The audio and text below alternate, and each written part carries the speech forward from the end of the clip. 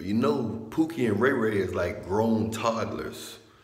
The reason why a lot of a lot of hers get attached get attached to Pookie and Ray Rays is because they like grown toddlers. They give off a vibe that um, you know that a woman should have to nurture nurture to him like a child. You know, wears pants low, like kids pampers sag. You see what I'm saying? You know, the whole everything is like a child where she can't help to try to cater to all that. I need a man to do this and do that and do that. All that go out the window when they meet Pookie and Ray Ray. All that go out the window. They take care of Pookie and Ray Ray. He don't have no job. They give him money. They wipe his butt. They comb his hair. They do his hair. They give him dreadlocks. They give him braids. Only thing they can't do is cut hair most of the time. But they do his hair. They buy him clothes. You know what I'm saying? They, they suck his, you know, they, they, they got his, they, they suck his lollipop. You, you know what I'm talking about. They, um, they do everything.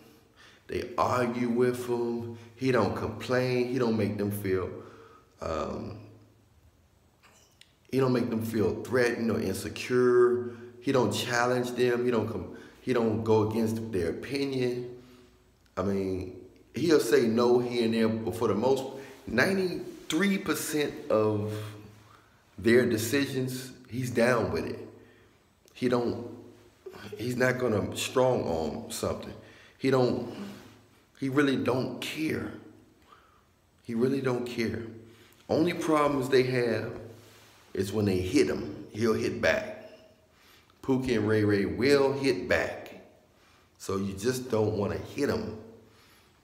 But, and when he, he will cheat, because what happens is, Pookie and Ray Ray is usually with a good looking woman. He's usually with a good looking girl. So, you know, it, it draws other, when, when, when, a, when good looking women see a man, you know, with another good looking woman, it makes them like him.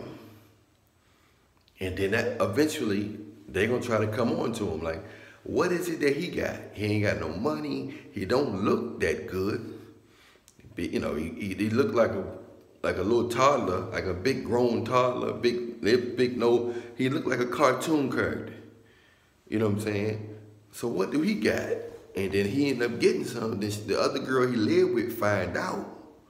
Then she put him out. And then you see him at 7-Eleven or the corner store saying, you got a dollar, you got 50 cents, you got a dollar.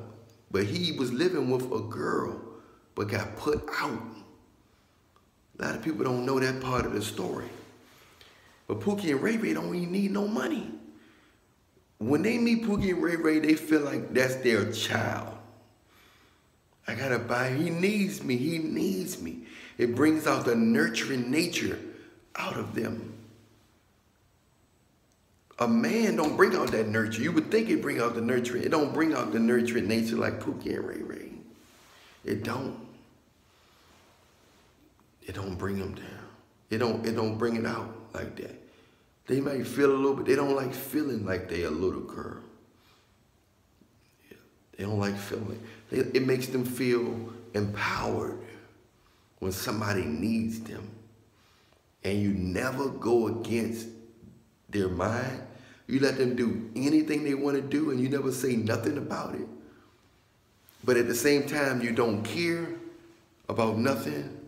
So it's a, all these different emotions come from doing zero. Zero is very powerful. Less is more when it comes to Pookie and Ray Ray. I'm Alan Rillionaire. Follow me on Instagram. All my Instagram pages. Press follow and subscribe. Check out the next video. But holler at me in the comment section. I want to know what you think and your observations about Pookie and Ray Ray.